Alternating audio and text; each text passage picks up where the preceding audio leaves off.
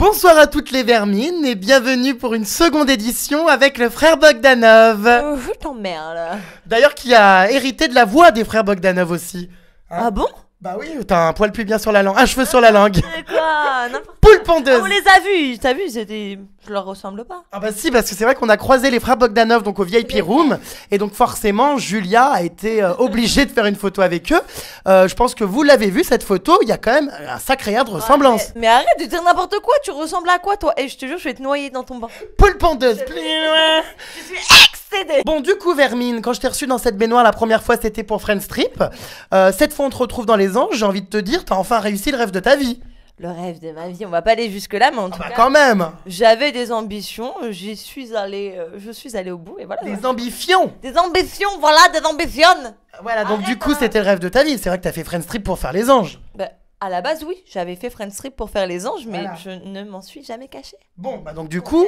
Certaines, tu vois. À qui Qu'est-ce que tu parles de certaines? Il est temps de sortir des noms. Non, mais je... Ah non, j'ai pas envie de leur faire de la pub. Ce qui est sûr, Vermine, c'est que donc cette arrivée dans les anges, c'est un petit peu fait à la dernière minute. Tu savais pas trop si t'allais y aller, t'étais à deux doigts de te suicider parce que t'avais un peu peur que ce rêve arrivé comme ça si près t'échappe. Moi, je t'ai eu au téléphone en pleurs. Oh, je vais pas y aller, je crois. J'avais même acheté la corde et tout, ouais, Ah carrément. oui, le ouais. Tabouret était prêt à sauter. Donc du coup, finalement, j'imagine que c'est un soulagement d'avoir enfin percé dans la télé-réalité. Enfin, percé, je t'ai dit que c'était pas encore une fois, comme je l'ai dit dans les, dans les interviews. Voilà, c'était pas non plus le rêve absolu. Bien sûr, j'ai fait une, une première télé pour faire les anges.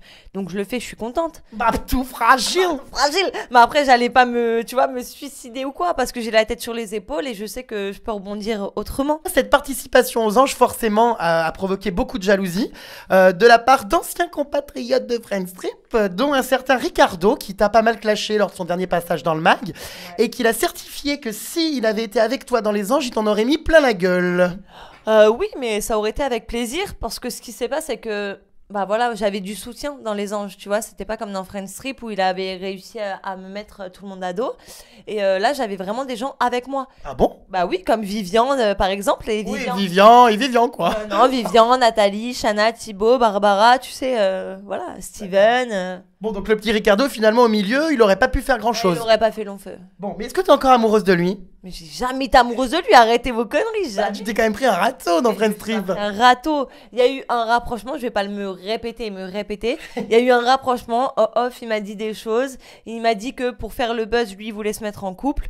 J'ai dit que moi, voilà, j'avais déjà quelqu'un de l'extérieur et que je voulais pas forcément me mettre en couple. Il m'a dit bon bah excuse-moi, euh, ce sera quelqu'un d'autre. Oh, je hurle Il a vraiment dit ça Bien sûr. Parce qu'apparemment, enfin moi d'après ce qu'il m'avait dit à l'époque, il était pas du tout intéressé par toi. Hein. Non, pas du tout. C'est pour ça qu'en off, il m'a dit que j'étais la seule fille qui l'intéressait, qu'il n'aimait pas les petites qui fumaient, euh, pas sportives. Alors que.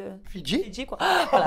Voilà. T'as pas mangé du cochon, toi, enfin du saucisson avant de venir Ça renacle Ah, qui pue, t'as nez trop, trop près de la bouche. Non mais il y avait une odeur de charcuterie, c'est pour ça. Tu dis ça, toujours tu dis ça. Est-ce que t'as d'autres arguments, d'autres. euh, Parce qu'à chaque fois tu sens la cochonaille Allô, Est-ce que je sens. Bon allez.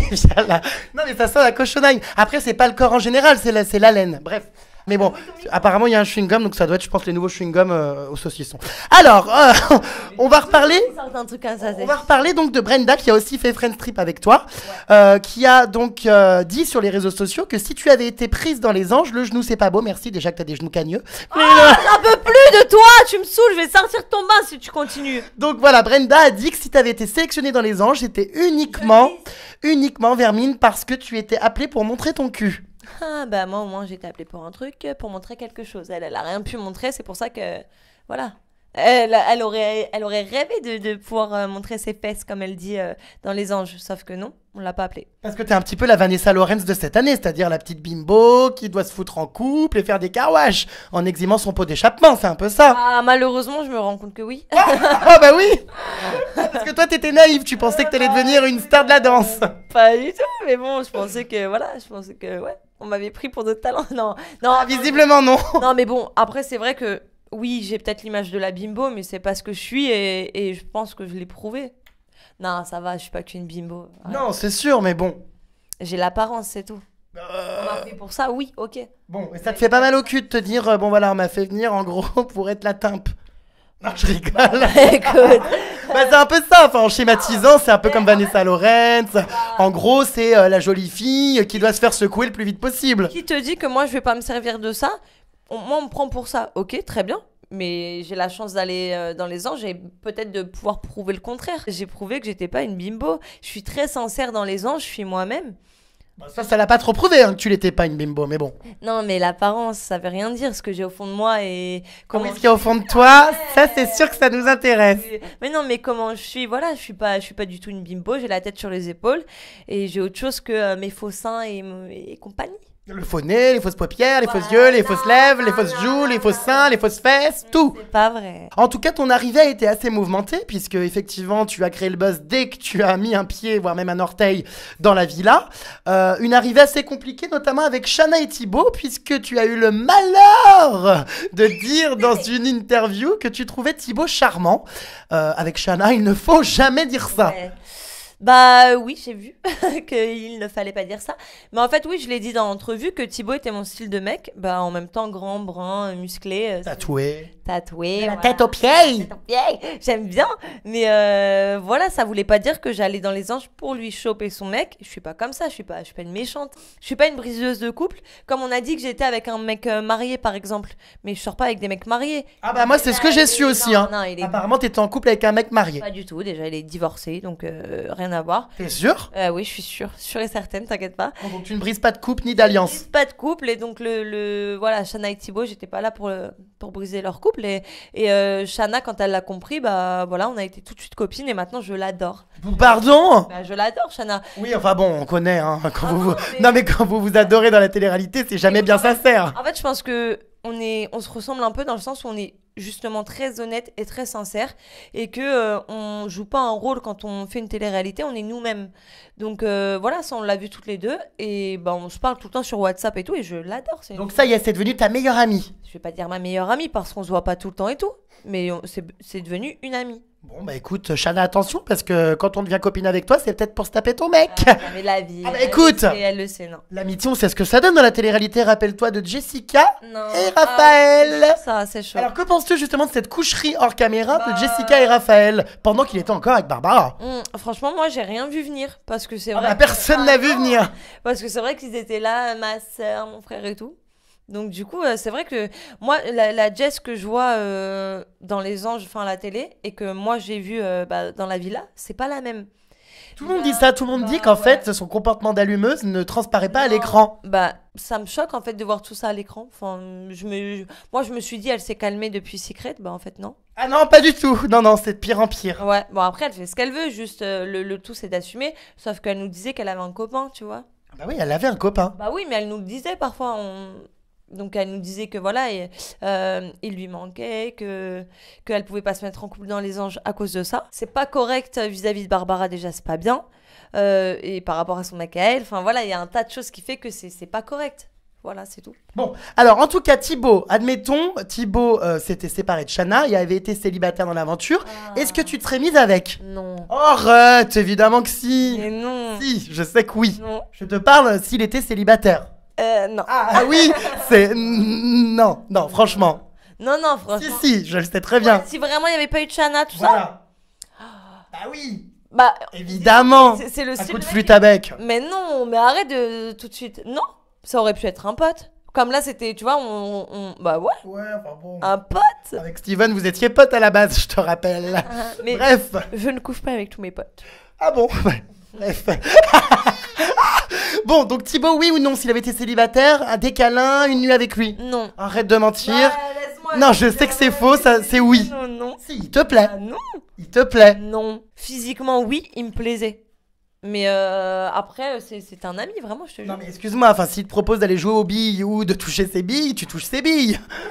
non, Fatigue, fatigue, non, mais franchement. fatigue. Alors, oui ou non Il va pas me lâcher, bah ouais, voilà, t'es content. Ah, oui. voilà. Bah oui, bah oui, tu vas pas me lâcher, oui. Ah, bon bah voilà. Bon, c'est vrai que Thibaut est quand même très sexy, faut bien le dire. Ouais, il est mignon. Bon, Vermine, Ah, moi, reparlons. Oui, des valeurs. Alors, reparlons d'Amélie. Euh, C'était un peu compliqué aussi avec Amélie au début de l'aventure. Euh, elle te tapait clairement sur le système avec ses attitudes un petit peu hautaines, euh, de reine-mère, etc. Et tu avais envie de la remettre à sa place. Alors, ça me fait quand même bien rire, la bab tout fragile de Friend Street qui veut remettre en place Amélie. Non, c'est- c'est- en fait, c'était pas la remettre en place, c'est que j'avais beaucoup d'a priori sur elle au début. Et je me suis dit, euh, enfin, je me suis dit, c'est pas parce qu'elle a fait les anges sept fois que euh, voilà nous on va arriver elle va nous en mettre plein la tête. Elle était là sur sa chaise comme ça elle nous regardait. Quand j'étais dans la piscine avec euh, Nathalie ou quoi elle venait avec Eddie et tap tap tap tap tap elle venait écouter elle venait faire la conversation. Après Amélie ça me fait bien rire parce que c'est pas euh, parce que c'est une forte tête tu vois une personne importante des anges que faut faire le toutou et la suivre comme faisait Raphaël. Bah ouais il la suivait tout le temps Raphaël c'est une forte personnalité. C'est ce qui fait croire. Oh, je Donc euh, ouais, à mon avis, il fait le, tu vois, il fait le mec, hein, Raphaël, c'est tout.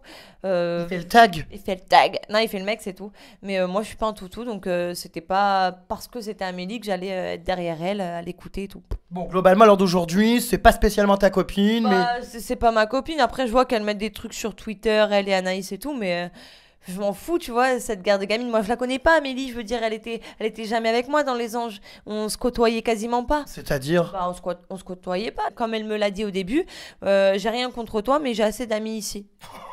moi, j'ai dit ok. C'est sympathique la télé-réalité. Bah, moi, j'ai dit d'accord. Je ok, je comprends ton rôle ici, joue-le comme il faut.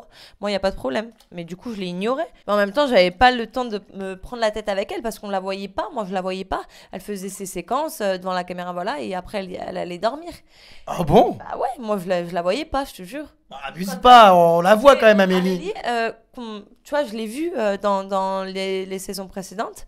Et là, elle était vachement en retrait. Elle était elle avait moins la niaque, elle gueulait moins, euh, tu vois, elle intervenait beaucoup moins. elle en a peut-être marre d'être entourée de cassos, quoi, parce que cette année, il y a quand même du high level. non, mais en même temps, genre, tu vois, ça me fait rire quand je vois aussi à la télé, quand elle dit les gamineries et tout. Mais oui, mais en même temps, tu fais les anges. On sait, tu vois, c'est ce qui marche, c'est ce qui plaît aussi. Quand on fait les cons, quand on fait les. Voilà, les, bon, les gamineries, elle parle de Vivian Micha, mais Vivian, il est drôle. Ok, il est lourd, mais il est drôle. Donc euh, voilà, après, ça plaît ou ça plaît pas, mais. Après, fais pas les anges si tu veux pas avoir de gaminerie parce que forcément il y a des gamins dans les anges. Je pense que bah, elle arrivait peut-être un petit peu à la fin qu'elle en a marre des anges. C'est peut-être la saison trop pour elle. Elle a l'air beaucoup plus mature, beaucoup plus posée et tout aujourd'hui. Comme elle dit les gamineries c'est trop pour elle, bah voilà, faut, faut qu'elle arrête. Ah, ça y est, tu veux la détrôner, toi Non, je veux pas la détrôner, j'ai pas la prétention et tout de, de, la détrôner, mais en tout cas, je pense que vraiment, elle a plus le, le tu vois, la mentalité et tout pour, pour faire les anges. Je pense que ça y est, elle a, elle a, passé le cap. Bon, en tout cas, avec Anaïs, c'est un peu tendu aussi sur les réseaux sociaux. Euh, j'ai vu donc qu'elle te traitait d'hypocrite, euh, qu'apparemment euh, tu te permets de l'ouvrir dans le dos, dans le confesse ou sur les plateaux télé, mais qu'en vrai, apparemment, tu jouais au roi du silence qu'on t'entendait pas. et qu'en gros, tu lui grattais l'amitié en off et que tu, tu, cherchais à copiner avec elle et qu'elle n'avait pas envie. Mmh, bah ça, ça me fait bien rire aussi. Parce que elle, c'est pareil, je la voyais pas. moi, j'avais mes amis dans la maison, je restais tout le temps avec les mêmes.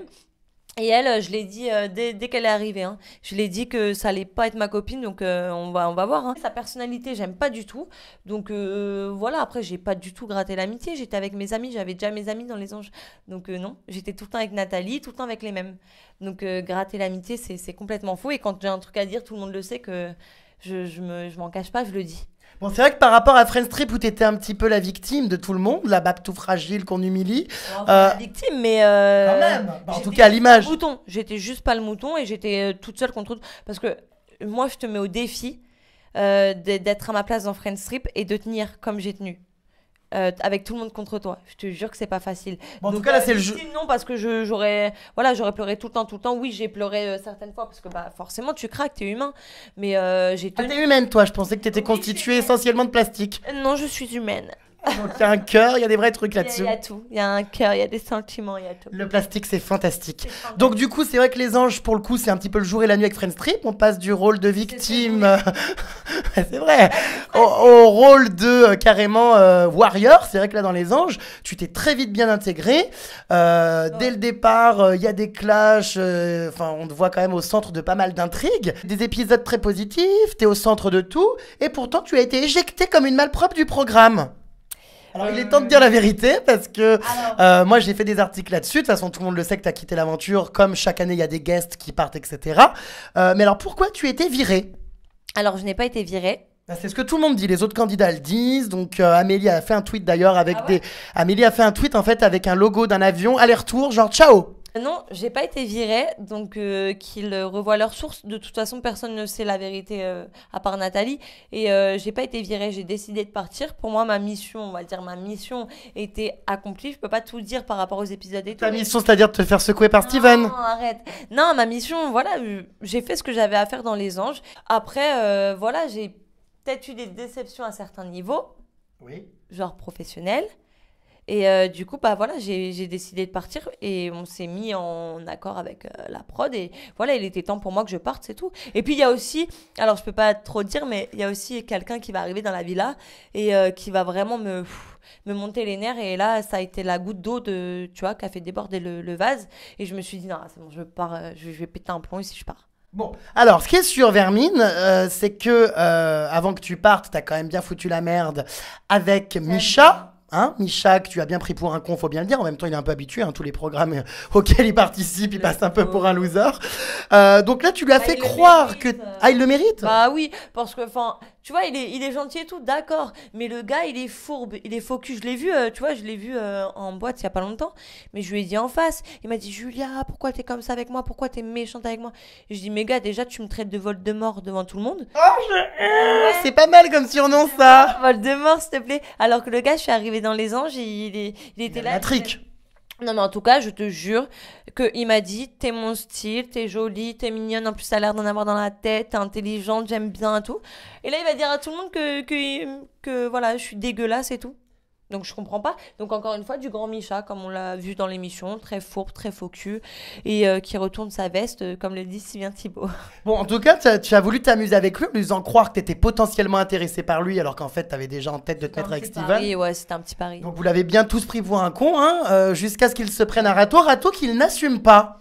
Bah, selon lui, ce n'est pas vraiment un râteau. Je lui ai pas mis de râteau. Ah. Pff, Ouais, il l'a très mal pris et du coup, bah, voilà, il fait du grand Micha. Il demande, s'il te plaît, dis ça en interview, s'il te plaît, dis ça en interview. Ah, il te demandait de dire des trucs sur lui Bah oui, bah en oui, interview. bien sûr. Ah bon? Bien sûr, et devant tout le monde, il dit, bah, Corrompu Corrompu cul de chat, poule au pot Je suis mais accédé par le comportement de ce Micha.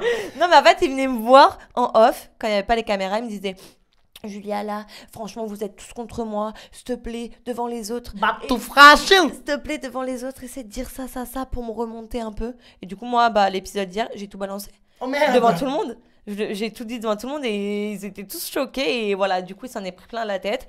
Et ben, été un peu le- le- l'élément déclencheur qui a fait que bah, tout le monde s'est mis contre lui. Donc oui, j'ai bah, un peu foutu ma merde. En même temps, bon, les- avec les gens qui le méritent, euh, voilà. Ça, à force de traîner avec moi, t'es devenu un véritable pot pourri. Hein Un furoncle. En tout cas, si j'ai voulu faire ce petit euh, pari et ce petit jeu avec Micha, bah, c'était pour lui remettre les pieds sur terre parce que euh, il pense qu'il peut avoir tout le monde. Tu vois, moi je suis arrivée, bam, il m'a mis le- tu vois, le grappin dessus. Et euh, du coup, voilà, c'était un peu pour lui, pour lui prouver que non, il, il pouvait pas avoir qui il voulait euh, quand, quand il voulait.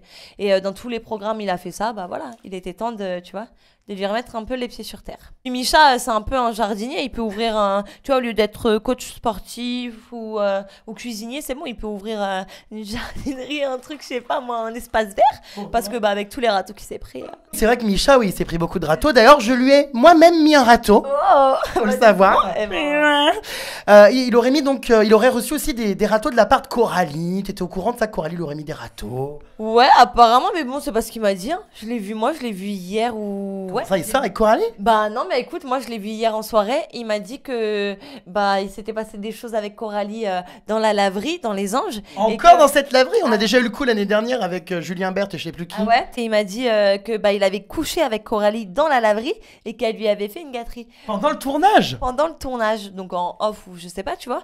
Mais apparemment, euh, voilà, il s'est peut-être pas pris de râteau ou alors pourquoi il mentirait? Ah bah, c'est très étrange ça. J'en avais pas eu. Hein Quel- voilà. J'en avais pas eu écho. Bah je te sors un petit scoop, hein. Bon bah écoute, très bien. Je vais enquêter, je vais aller faire des prélèvements pour voir si c'est vrai. Parce que je- Coralie, elle assumera peut-être pas, je sais pas si c'est vrai ou pas, mais. Mais en tout cas, Micha raconte ça. Ouais, c'est ce qu'il m'a dit hier. Ah bah dis donc, on en apprend tous les jours. Bon, bref, puisqu'on parlait de Micha, forcément Vermine, on va parler euh, de celui qui a fait battre ton cœur. Hein, et, et autre chose d'ailleurs. Steven. Euh, alors Steven, je sais pas, moi j'ai un peu du mal à y croire à ce couple. Euh, vous êtes ensemble dans les épisodes, mais pourtant vous avez l'air de vous connaître depuis euh, bah, pas si longtemps que ça et d'être de parfaits Bah, inconnus. ouais, en fait, c'était très compliqué. On n'était pas du tout complices. Tu vois, Steven, ok, on a eu un- peut-être un petit feeling au début et tout, mais on n'était pas du tout complices. Euh, on avait du mal à, tu vois, devant les caméras, il nous, il nous demandait, mais euh, faites-vous des bisous quand même, euh, faites-vous des câlins, machin. Mais on n'y arrivait pas. Et lui, il était très distant. Il me disait, ouais, mais tu sais, moi, quand je suis en couple, euh, il me faut du temps, au moins deux ans, pour faire des bisous, des câlins à ma meuf. Je dis, ah, d'accord. Il me fait des câlins toutes les soirées, donc désolé. Ah, voilà, écoute, je sais pas, il est peut-être gay. Hein. à mon avis, oui, mais bref. Et du coup, bah voilà, on n'était pas du tout complices et ça se voyait devant. De, bah, ça, ça se voit dans les épisodes, on ne nous voit jamais ensemble. Mais c'est-à-dire que c'était fake ou parce que euh, Bah, non. t'avais pas envie Bah, c'est qu'à mon avis, on n'en avait pas envie tous les deux, tu vois. On s'est dit, bah pourquoi pas, euh, on pourra peut-être être un, un couple, ça pourra peut-être durer. Mais au final, on s'est rendu compte au fil du temps que, bah non, on n'avait au- aucun. Aucun point commun feeling, aucun point commun et que bah ouais euh, à la fin on se rendait compte qu'on se forçait un peu donc euh, donc voilà Et pourtant, ce son- couple- moi son caractère et tout je c'est un très gentil garçon mais en couple je peux pas Ouais, mais en tout cas, ce couple est quand même. Non, mais ce couple, faut bien le dire, euh, avant de naître dans les anges, j'ai quand même né grâce à moi. J'ai quand même créé des monstres. N'oublie pas, Vermine, que lors de l'anniversaire de mon site, la conciergerie à Clermont-Ferrand, oui, mais j'ai quand même filmé un fort rapprochement sur Snapchat. Vous étiez à deux doigts de vous mettre en couple. Je suppose que ça a bien aidé ce rapprochement pour ensuite conclure dans les anges. disons que ça a aidé Ah bah oui Donc la production peut quand même me remercier. Je crée les couples avant le programme. ouais non c'est vrai que ça a aidé et c'est vrai qu'on avait euh, oui bah on s'est dit bah on va se mettre en couple parce que on en avait envie sur le moment mais c'est vrai qu'au fur et à mesure on s'est rendu compte qu'on n'avait rien à voir ensemble Bah, C'est surtout que toi, qui est quand même, euh, a priori, hein, d'après ce que tu dis, une fille qui se respecte, euh, se- te mettre avec un mec aussi crevard et qui trempe son pinceau partout. Ouais, mais moi, je le pensais pas comme ça. Et Léon dit et tout, tu vois, moi, je, je, bah, je me fie pas à ce que j'entends. Parce que moi, on dit plein de choses sur moi qui sont fausses. Donc, euh, je veux pas écouter Léon dit, je veux juger par moi-même. Et du coup, bah, voilà, j'ai j'ai jugé par moi-même et c'était euh, effectivement euh, un crevard. Ah oui, c'est vraiment un crevard.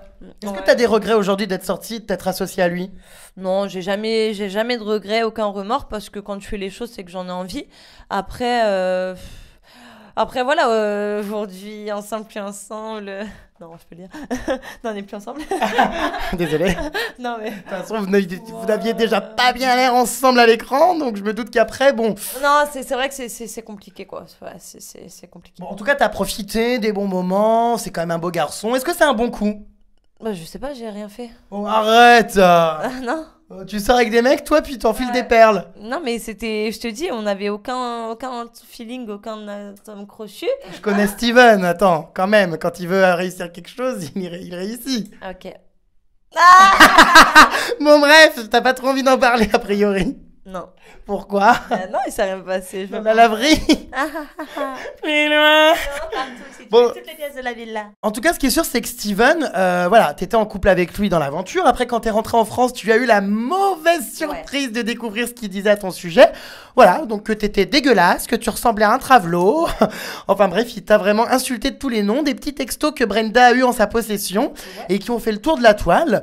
Euh, une petite réaction peut-être euh, face à tout le bien euh, que ton ex pense de toi Bah, du Steven tout craché, parce que moi, quand je lui demande, il m'a dit, mais non, Julia, tu sais que. C'est des te- montages. Non, il m'a dit, je te trouvais, euh, je te trouvais jolie, machin, machin. Il m'a toujours, bah ouais. Et euh, il m'a dit, si j'ai dit ça à Brenda, c'était pour lui faire plaisir et pour en gros l'avoir dans son lit, quoi. Ah. Bah oui, et il allait dans son sens parce que voilà, il savait comment était Brenda et mais voilà, ce mec-là, à mon avis, pour avoir une meuf, il est prêt à tout, tu vois. Donc euh, ses paroles ne, ne sont pas vraies. Puis euh, la Brenda là, euh, je veux dire les textos, elle en a eu euh, pour son grade aussi parce que Steven, il m'a envoyé euh, des trucs euh, où euh, voilà, il me disait mais c'est une conne, elle est dégueulasse. euh, euh, ouais, en gros, elle veut, elle croit se mettre avec moi un jour, mais jamais je me mettrai en couple avec une meuf pareille, une, une paillote ou je sais pas quoi, tu vois, une campagnarde et tout. Donc il l'a descendu de ouf. Et donc voilà, après, si elle pense que j'ai été une victime et tout, bah, elle peut penser ce qu'elle veut. Moi, moi, bah voilà, moi au moins j'ai fait les anges, moi au moins j'ai pu me mettre avec Steven ce qu'elle enfin, aurait rêvé faire. Donc voilà, je pense que c'est de la jalousie et dure. Brenda disait à tous les anges, euh, donc en off on entendait ça, qu'elle allait venir bientôt dans la villa. Déjà quand tu sais que tu viens, tu le dis à personne. Hein. Es sous confidentialité et tout, tu peux pas le dire. Donc euh, voilà, soi-disant, bah, elle allait venir et tout, sauf qu'elle a jamais été appelée. Ensuite elle dit à tout le monde, oui j'ai été appelée, j'ai eu la preuve de téléphone mais de source sûre, elle n'a pas eu la prod au téléphone. Elle n'a jamais eu la prod au téléphone. Euh, elle n'a jamais été appelée pour faire les anges. Elle aurait rêvé, certes, mais non, elle l'a pas fait. Mais alors, ce Steven, euh, honnêtement, enfin, comment ça se fait qu'il se comporte comme ça? Parce qu'il te critique toi, il critique Brenda, il joue un peu un double jeu. Enfin là, c'est vraiment.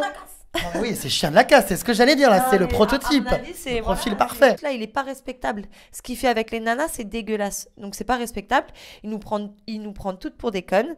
Donc euh, bah j'espère qu'un jour ça lui retombera dessus et que il tombera vraiment amoureux et qu'une meuf euh, lui fera à l'envers. J'espère. Moi, je commence vraiment à en avoir marre. Donc là, je lance un vrai coup de gueule. C'est que euh, chaque année, dans toutes les téléréalités, quand il y a une meuf, hein, tu vois, un peu jolie, genre bimbo, euh, bah, qui se met en couple, tout de suite, elle est traitée de salope. Euh, elle est mal vue. par contre, les gars comme Steven qui essaie de, de choper toutes les meufs et qui raconte voilà, de la merde sur tout le monde, là, par contre, non, c'est un séducteur. C'est le mec des anges. Le... Ah, les filles sont plus souvent traitées et cataloguées que les garçons. je suis désolée, on se respecte. Moi, je me respecte. Oui, ok, j'ai cru qu'avec Steven, bah il aurait pu se passer un truc. Au final, on s'est rendu compte que pas du tout parce que bah on n'avait pas du tout les, tu vois, les crochus, euh, nos caractères n'allaient pas ensemble.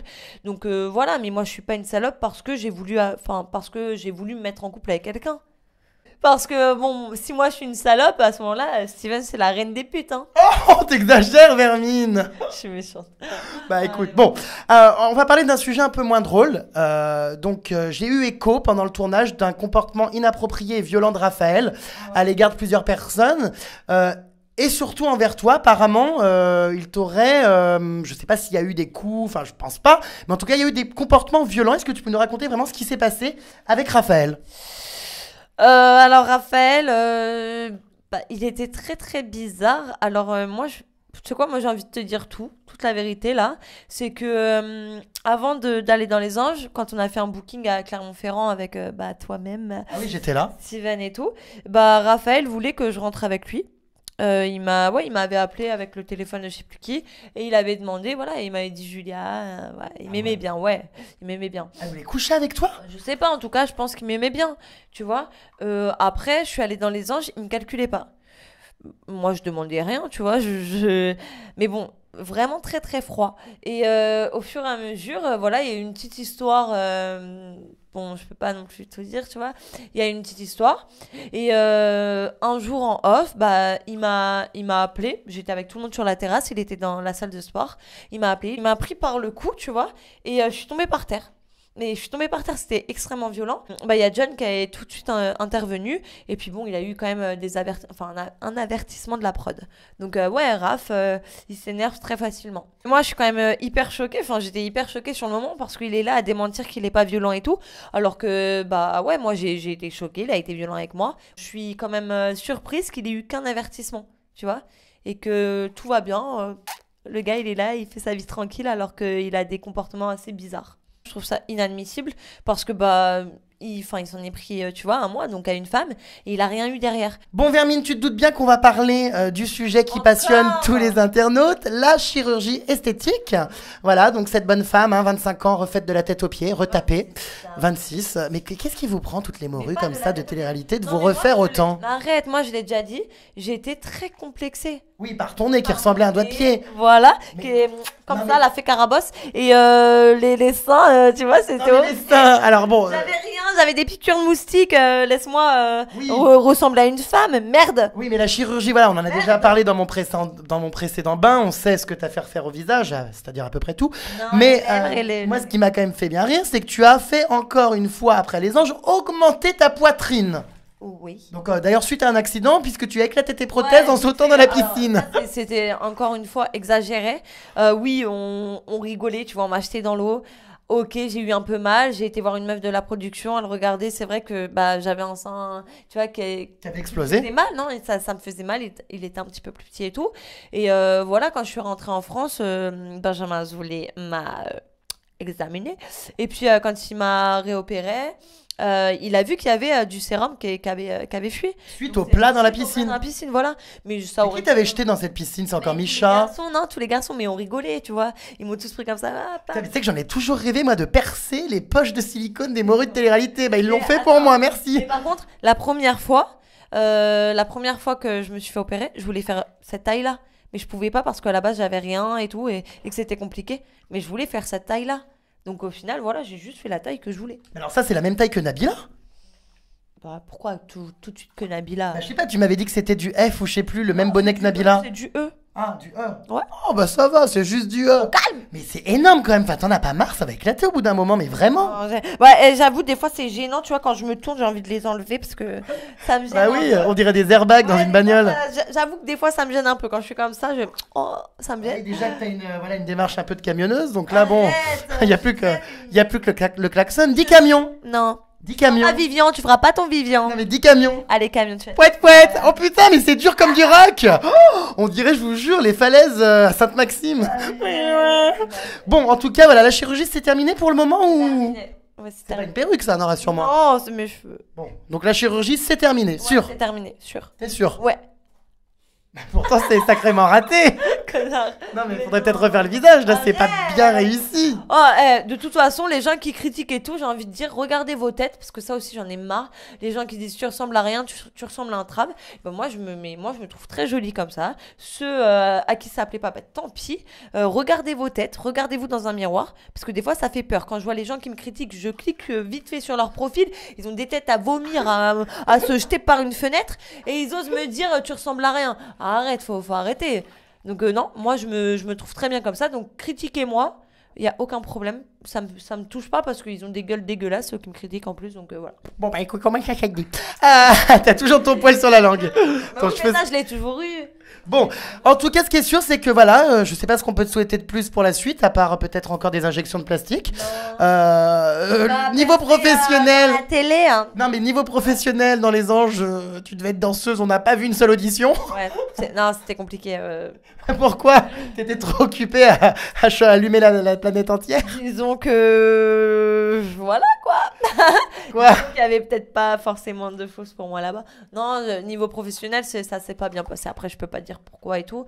Mais euh, c'est aussi pour ça que. C'est un échec cuisant. Non, mais c'est aussi pour ça que je suis partie. Mais après, euh, c'est pas forcément par rapport à la danse et tout. Je, je, je danse très bien. Y a pas de problème. Mais euh, non, par contre, j'aimerais bien ouais, refaire de la télé. Télé-réalité ou pas, j'en sais rien. Mais j'aimerais bien, euh, pourquoi pas être animatrice, euh, chroniqueuse, radio, télé, voilà. Je, Bon. je, veux, je veux continuer là-dedans. En tout cas, je, me, je suis très bien là-dedans. Je veux continuer. Bon, mais écoute, euh, gros bisous Vermine, et puis j'ai envie de te dire peut-être à bientôt, euh, ou pas. Sûrement à bientôt. bisous Plus Plus loin plus, plus loin Plus loin